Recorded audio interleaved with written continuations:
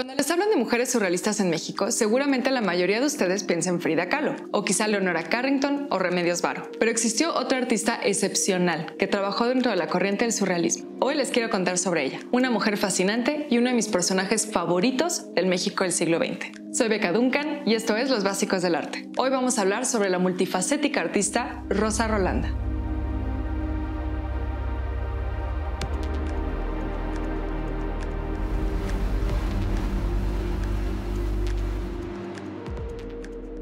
Si Rosa Rolanda viviera hoy en día, diríamos que es chicana. Su nombre real era Rosamund Cowan Ruelas y nació en Los Ángeles en 1895, en el seno de una familia multicultural, pues su padre era de origen escocés y su madre de ascendencia mexicana. En ese momento Los Ángeles no era la ciudad glamurosa que es hoy, de hecho apenas estaba empezando a crecer. Era en esa época principalmente un pueblo campesino, y a Rosa Rolanda le tocó vivir precisamente su transición de zona rural y agricultora a la metrópoli cosmopolita en la que se convertiría pues durante su infancia comenzó un proceso de desarrollo e inversión que culminaría en la llegada de los estudios de cine. Pero todavía faltarían varios años para que Los Ángeles se consolidara como un centro artístico y cultural. Así que en 1916, la joven Rosa emigró a Nueva York para poder desarrollar su carrera como bailarina. Este talento artístico se hizo notar desde muy joven. En su infancia y adolescencia destacó por mostrar un gran interés por la escultura, pero también por tener excelentes habilidades para las actividades físicas.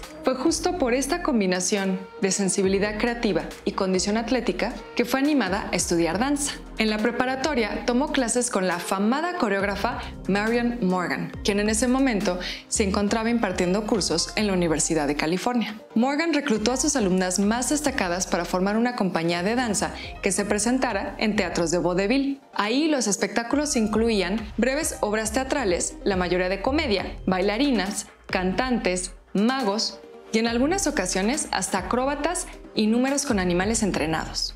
Las coreografías de Morgan eran de vanguardia, incluso para el ambiente del vodevil, pues sus bailarinas realizaban danzas interpretativas inspiradas en temas de la literatura griega y romana. Se presentaban con los brazos expuestos y andaban descalzas. Del vodevil, Rosa brincaría a los escenarios de Broadway. En 1918, dejó la compañía de Marion Morgan y comenzó a participar en musicales. En esos años se incorporó a las producciones de Irving Berlin, uno de los compositores más famosos en la historia de Broadway. En esos escenarios, Rosa no solo participó como bailarina, sino también como coreógrafa. También fue en ese momento que comenzó a incursionar en el diseño de vestuario. Las influencias que Rosa llevaba al escenario revolucionaron la danza en Broadway, pues incorporaba elementos de danzas tradicionales de todo el mundo. Su estilo verdaderamente moderno se hizo notar y para 1923 estaría bailando en escenarios europeos como parte de las Ziegfeld Follies, un espectáculo de teatro de revista. Lo novedoso de sus coreografías y su singular belleza no solo impactó al público, sino también a muchos artistas en un momento de efervescencia creativa en Europa, pues por todos lados estaban brotando grupos de vanguardia. Man Ray, el fotógrafo surrealista, fue uno de los artistas que quedó impresionado por ella, realizándole varios retratos durante su estancia en París. Pero una mujer tan creativa y revolucionaria como Rosa no se iba a conformar con solo ser musa y modelo. Aprovechó el contacto con Man Ray para aprender de él y así incursionar también en el ámbito de la fotografía. La carrera fotográfica de Rosa comenzó precisamente con la creación de rayogramas o fotogramas, una técnica con la que Man Ray experimentó ampliamente. Pero en los siguientes años destacaría particularmente como retratista.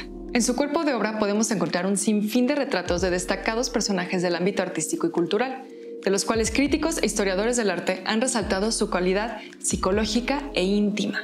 Esto último nos sorprende, pues los modelos de Rosa fueron en su mayoría personajes con los que construyó importantes amistades y que mantendría estrechos lazos a lo largo de toda su vida.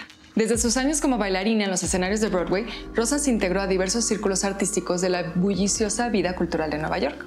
De hecho, fue así como iniciaría su siguiente etapa artística y daría uno de los vuelcos más importantes de su vida, su llegada a México. No sabemos exactamente cómo fue, pero en 1925 Rosa conoció a un joven caricaturista mexicano que se encontraba en Nueva York. Era ilustrador en revistas como The New Yorker y Vanity Fair, y le decían el chamaco. ¿Ya adivinaron quién? Sí, Miguel Covarrubias, otro personaje fascinante y de quien seguramente muy pronto haré otro video. Algunas versiones nos dicen que se conocieron cuando Covarrubias fue contratado para diseñar el vestuario de un espectáculo llamado Rancho Mexicano, en el que Rosa no solo bailaba, sino que también diseñó la coreografía. Otros, como el historiador del arte Juan Coronel, nos dicen que en realidad fueron presentados por Adolfo Best Mogart. Él era otro artista mexicano que, como muchos otros en esa época, se encontraba en Nueva York. Y por supuesto, había conocido ya a Rosa a través de los círculos de artistas que ambos frecuentaban. Es muy probable que su primer contacto con Covarrubias sí haya sido a través de Besmogard, pues sabemos que su método de dibujo, que estaba basado en las formas del arte popular mexicano, fue una enorme influencia en la obra pictórica de Rosa. Pero bueno, ahora sí que haya sido como haya sido, Miguel Covarrubias y Rosa Rolanda se convirtieron en una de las parejas más emblemáticas del mundo artístico de principios del siglo XX. En 1926 emprendieron un viaje a México que les cambiaría la vida pues no solo fue el inicio de su relación, sino que transformaría la carrera de ambos. De hecho, se dice que fue a partir de su relación con Covarrubias que cambió su nombre de Rose Cowan a Rosa Rolanda. Pero también hay fuentes que nos dicen otras cosas, pues aseguran que ese cambio ya se había dado al menos una década antes cuando ella comenzó su carrera como bailarina. En su momento, la pareja debió haber parecido muy poco convencional para la sociedad de la época, pues ella era 10 años mayor que él y no se casarían hasta 1930, después de vivir juntos por cuatro años. Ya casados, Rosa y el chamaco Covarrubias viajaron por el mundo, y no fue hasta la década de los 40 que se establecieron definitivamente en México. Desde su primera visita en 1926, Rosa entabló amistad con diversas figuras fundamentales para el arte mexicano, gracias al propio Covarrubias, pero también a su amigo Best Mogard. Aquí Rosa entró en contacto con el muralismo, modelando para Diego Rivera y Roberto Montenegro. De hecho, su cercanía con Rivera no solo fue profesional, ella y Covarrubias fueron muy cercanos a él y a Frida Kahlo, como amigos. Incluso al mudarse a México vivieron muy cerca de Diego, en San Ángel. Las amistades que hizo en esos años marcaron su trayectoria artística.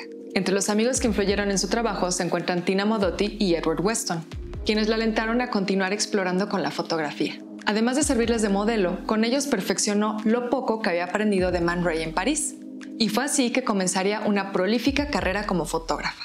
Además de hacer retratos, destacan sus fotografías de viaje, que se publicaron en revistas como Dean, editada por el Círculo Surrealista en México, la famosísima Harper's Bazaar y Mexican Folkways, especializada en antropología. Sus fotos también aparecieron en dos libros que realizó de la mano de Miguel Covarrubias, uno dedicado a su viaje por Bali, llamado La Isla de Bali, y otro titulado El Sur de México. Lamentablemente esta faceta de su trabajo ha sido muy olvidada. Por un lado porque a las mujeres artistas no se les ha estudiado a profundidad y por otro porque todo el mundo se enfoca en su pintura o en su relación con Covarrubias. Curiosamente, a diferencia de la fotografía, ella no exponía sus cuadros pues era un trabajo personal que hacía por diversión. Le gustaba hacer retratos de sus amigos y también propios.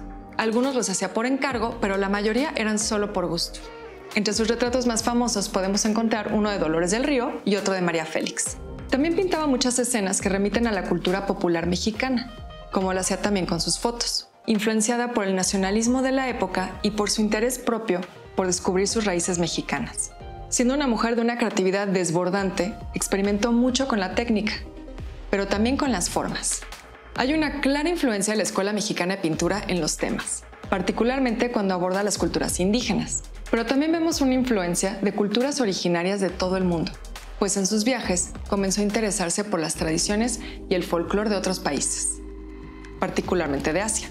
Y por supuesto, no podemos olvidar la influencia del surrealismo en su obra. A diferencia de otras, perdón, Frida, hay que recordar que ella sí viajó por Europa en los años en que estaban surgiendo las vanguardias artísticas del siglo XX y sí tuvo un contacto muy cercano con el Círculo Surrealista de París. De su trabajo surrealista quizá conozcan este autorretrato de la colección del Museo de Arte Moderno. En él destaca su mirada, esos grandes ojos almendrados que cautivaron a tantos artistas, y también todas estas influencias. Vemos figuras femeninas haciendo una coreografía y diversos elementos que aluden a la cultura popular mexicana. Fíjense también en el tratamiento que le da a todos estos elementos. Tiene un estilo decorativo que remite a las artesanías y el arte popular, siguiendo precisamente las formas que definió Adolfo Best Mogard en su método de dibujo. Esto le da al cuadro una estética naif, es decir, de un estilo ingenuo, casi infantil, que parece haber sido pintado por un artista autodidacta. Si bien ella fue autodidacta, esto también fue una corriente importante en la época de Rosa Rolanda que influyó en su trabajo. Y bueno, también hay que decir que es muy representativo de ella y de su vida, porque presenta su ruptura con Covarrubias. Aún queda mucho por investigar y estudiar sobre esta fascinante mujer, y en la última década ha habido mayor interés por reivindicar su lugar en la historia del arte mexicano, pero lamentablemente todavía es vista por muchos como la esposa de Miguel Covarrubias, o la musa inspiradora que posó por los artistas más destacados de su época. Hagámosle justicia a Rosa y a otras que como ella nos han dejado un gran legado cultural.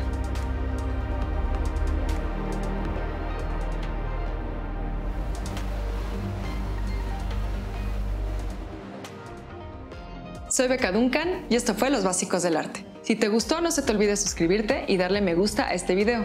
También acuérdate que puedes activar la campanita para que te lleguen notificaciones cada vez que suba un video nuevo. Déjame también tus sugerencias sobre otros artistas y obras de arte de las que quieres que te cuente.